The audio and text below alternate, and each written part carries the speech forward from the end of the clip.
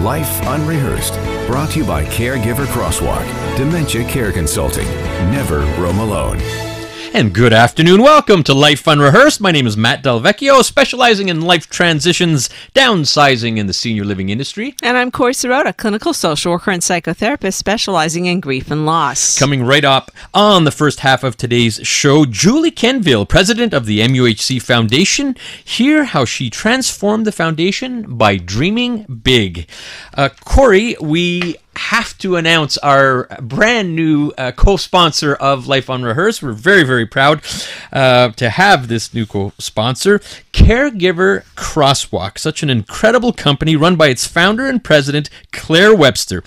Caregiver Crosswalk is a consulting firm that provides education and support services to help individuals navigate the journey of Alzheimer's disease and or dementia-related illness. And we both know Claire uh, That's Corey. true. That's true. She is amazing at what she does. She's also the founder and ambassador of the McGill Dementia Education Program and McGill Cares, a weekly webcast series designed to support family caregivers. We're very uh, proud and very pleased to have Claire and Caregiver Crosswalk along board with Liana Senior Transition Support as the two co-sponsors of uh, Life Unrehearsed. So welcome aboard, Claire. So excited to have her here, and I'm sure we're going to have her on again. Absolutely and she's just a plethora of knowledge. So um, it's it's a it's a great connection. It certainly is. What do we have coming up on the second half? On the second half of the show today, well, she was widowed at 43 with two young children. How does one even manage their grief when you're trying to figure out this at, at the same time as grieve and parent? Well, we're going to ask Jenny Lisk, who created the Widow Parent podcast. She's going to help us eh, by sharing that podcast, what she does to help other widowed parents, and also herself.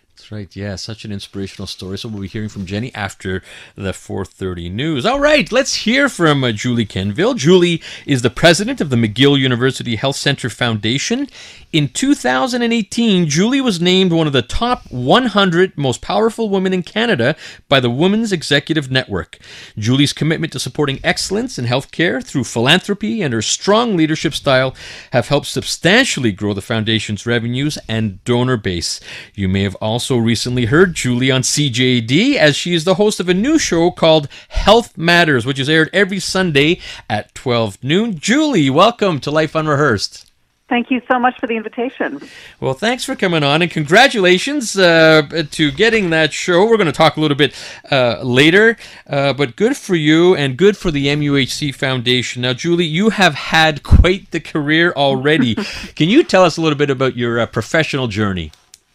Well, actually, you know, as a child, my big dream was of changing the world, and as a foreign correspondent, and I went to journalism school and started off actually at CJAD. I was uh, doing the night news and did uh, worked as a researcher for a couple of years.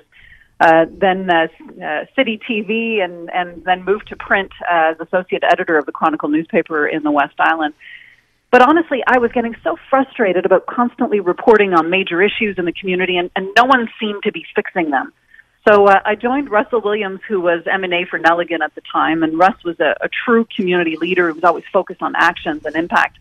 And thanks to his mentoring, I was recruited by Philippe Couillard, who was health minister at the time, and I ran a number of exciting national files, including the uh, Save the Shriners campaign and the smoking ban in uh, restaurants and bars. And eventually I joined the MUHC to work on the construction of the new hospital because you know, how many times in one's life do we get to build a brand new uh, world renowned hospital? And I, of course, fell in love with this incredible institution and haven't been able to tear myself away ever since. Well, they're certainly very lucky to, to have you. So, I want to go back to something Matt said because honestly, if you were sitting in the studio with me, I would go, "Could I touch you?" because it's very impressive to hear that you in 2018 were named one of Canada's most powerful women, top 100, uh, top 100 uh, award by the Women, uh, Women's Executive Network. So obviously congratulations on that you met um, women from all over um, at this event in toronto you got to tell us what that was like you know, Corey, this nomination really did change my life, and and I wasn't expecting it when I first got the call to say that uh, that I had been named. You know, when you spend years grinding and trying to balance family and executive functions, and uh, you make important sacrifices, and you always, always feel guilty. You face so much judgment, especially from other women, and uh, and honestly, it can be extremely isolating. So when I met the other top 100 women in Toronto, uh, they all had similar struggles and similar stories, and everyone faced the same kind of judgment. It created kind of a support group, and, and I realized in meeting them that I actually hadn't really made any sacrifices. I made choices. Mm. And and those choices meant that my daughter can see running a business as an option and children learn more from what they see than what we tell them. So we need to give them role models so that they can believe that they can access these kinds of careers. So, you know, Corey, I'm not picking up my kids at 3:30 right after school. I may not be baking cookies uh, as often as others, but I am having an impact on my community, and that's a valued contribution in our society, even for a mother and always a, a difficult uh, choice, I'm sure. And you have your days where you're second guessing, but um, uh, the the path you're leading, and uh, um, it, you are an inspiration, I'm sure, to your kids. Two wonderful uh, children, uh, Julie. And we're talking uh, with Julie Quenneville, president of MUHC Foundation, here on Life Unrehearsed with Corey and Matt. And um, Julie let's talk about you do a lot of public speaking and what is dear to your heart your heart especially is is women and particularly young women. And and uh, could you share a little bit more about your passion about uh, young women and and making them the best they can be? Thank you matt. You know women need role models. Men need role models too. But women have mostly had male role models. And in fact i'm very honest with you. I've only ever had male mentors in my career. I've been blessed to have so many of them. But the conversation is so different. So today I mentor many young women. Um, and I always have a conversation that's very different because you've got to look not only at the career, but you also have to look at the family life and the balancing act. Because if women burn out, if mothers burn out, then they are going to abandon their careers. And you saw this during the pandemic. You know, thousands of women across this country have abandoned their careers to be able to care for the children and their family uh, as daycares and schools shut down. So the number one message I tell young women is you can have a family, you can have a successful career, but you have to ask for help. And getting help with cleaning and cooking and other things that you can give up doesn't make you a bad mother. It just makes you more organized. You so, need to get mentors. You've got to find people who will coach you and guide you and promote your career. You know, while women have been working away in their offices, men are networking and your career opportunities are, are, completely impacted by the quality of your network. I could I could go on all afternoon, Matt, as you can see. and uh, and my daughter uh, Victoria, poor girl, I, I send her constant messages and quotes uh, pretty much on a daily basis about hope and the need to take action to make the world a better place. So uh, hopefully, she will remember those messages as she grows up. I think you are a wonderful role model. We're talking with Julie Quenneville, the president of the MUHC, and she is sharing with us just her uh, some very important words of wisdom about the whole process and and how you do what you do. Speaking of which, we're going to have to head out for a traffic uh, update, but when we come back, you have this vision of dreaming big. So we want to hear about some of the impressive initiatives that you have offered in terms of what that means. Life Unrehearsed, brought to you by Leanna Senior Transition Support, specialists in downsizing and seniors residences. Welcome back to Life Unrehearsed. I'm Corey Sirota, along with my co-host Matt Del Vecchio, and we are talking with Julie Quenneville, president of the MUHC Foundation. Julie, you are taking the MUHC Foundation to a whole new level by your quote on air quotes dreaming big. I want to know a little bit about what your those initiatives are and what you're uh, you've been implementing. Yeah, thank you, Corey. You know, philanthropy has been pretty hard hit in the pandemic. I know a lot of other businesses have, but um, you know, when thousands of Canadians lose their jobs and families are concerned about their retirements and their investments, um, it does impact philanthropy we are very lucky. We, we are extremely touched by the support of the community towards the pandemic response. More than $5 million has been raised since March to support more than 50 research projects right here at the MUHC and to support laboratories that allowed us to truly analyze the, the virus and start to uh, create more targeted therapies. So we've supported vaccine development, medication trials, improved testing.